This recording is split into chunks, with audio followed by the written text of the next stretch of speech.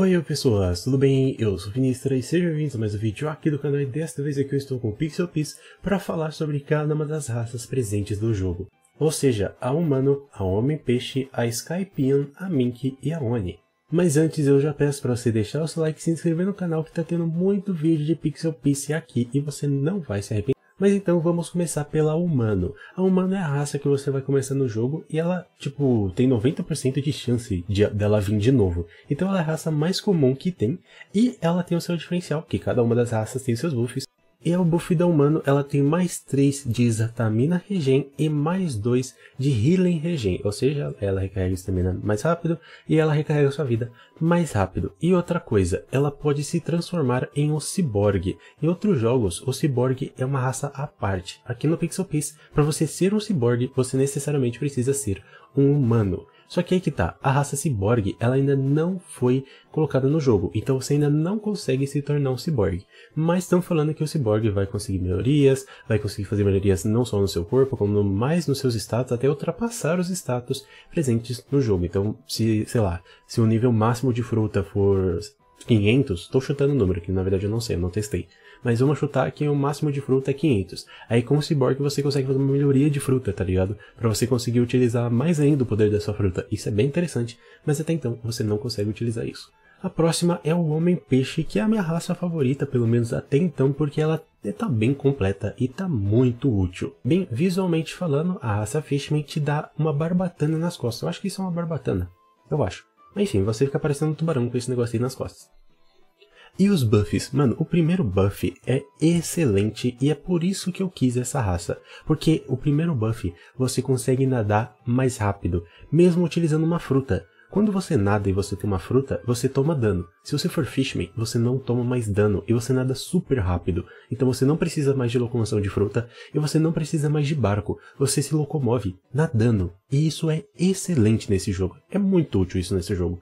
Além do que você tem uma porcentagem de 3 a mais no seu XP, ou seja, você upa tudo mais rápido, seja estilo de luta, seja seu próprio personagem, seja espada, então você upa tudo 3 vezes mais rápido. Não é 3 vezes XP, não é 3x XP, como tá aqui. É um pouquinho mais de XP, você upa mais rápido, só que eu acho que não é 3x, né, porque pô, aí é bastante, né, colega, mas enfim. E outra coisa que também é muito bom do Homem-Peixe é que ela é a única raça que consegue utilizar o Fish Karate. Nos outros jogos, Fish Karate você consegue utilizar com outras raças. No Pixel Piece, somente quem é Fishman consegue usar a habilidade Fish Karate, que é muito boa, é muito boa. Eu usei bastante o Black Leg, e eu achei o Black Leg legal, mas quando eu usei o Fishman Karate, mano, Fishman Karate é muito bom. Por isso, Fishman é minha classe favorita, minha raça favorita, na verdade. E agora vamos para a Skypiea. A Skypiea, a diferença visual em você é que você vai ter asinhas. E os seus buffs é que você vai ter uma habilidade que você plana. Ou seja, quando você pula de um lugar alto, é você não, não cai direto. Você consegue planar e conseguir ir um pouco mais para frente. Eu não acho isso tão útil. E meio que a Skypiea seria a raça tanque, porque ela te dá mais 25 pontos de saúde e resistência. E é só isso que ela faz. Ela não tem tanta coisa assim. Por isso que para mim é a raça mais né. Agora vamos para Mink, que tem a probabilidade de ser uma das melhores raças, ok? Até então ela não é tão boa, mas ela tem a probabilidade de ser. Mink, ela tem duas versões. Ela tem a versão coelho, onde você vai ter orelhinhas de coelho, e a versão gato, onde você vai ter um rabo de gato. E a diferença da Mink, no caso os buffs que a Mink tem, ela tem um aumento de velocidade, um aumento de 10 pontos de resistência e ela também tem é, mais 2 pontos de força física. E ainda não lançou, mas mais pra frente vai lançar o estilo de luta elétrico, Electric Clown. Na verdade, Electric Clown seria palhaço elétrico. Não sei muito bem como é que fala, mas é o estilo de luta elétrico que simplesmente é o meu favorito nos jogos de One Piece, eu gosto muito do estilo elétrico, mas infelizmente no Pixel Piece só os Minks vão poder usar o estilo de luta elétrico. Ainda não está no jogo, mas eu gosto bastante do estilo de luta elétrico, então é provável que eu me torne um Mink mais pra frente. Além do que, ele tem a velocidade. Então, mano, velocidade. A velocidade é muito boa no, no jogo, mas né, o Fishman meio que ele nada rápido, então minha disparidade fica ali. Se eu sou um homem-peixe, se eu sou um homem-gato, Então, ou um homem coelho, né? Porque o Mink tem duas fases. Mas, enfim, o Mink é bem interessante. Agora vamos para a queridinha de muita gente e também a classe mais difícil de você conseguir no Pixel Piece, que é a Oni. A classe Oni, ela se diferencia das outras com dois chifres na sua testa.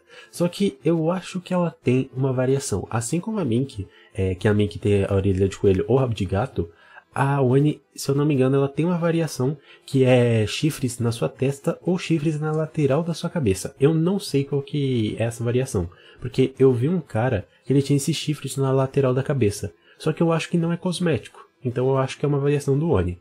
É, o Oni eu não sei se tem variação, já o Mink eu sei que tem.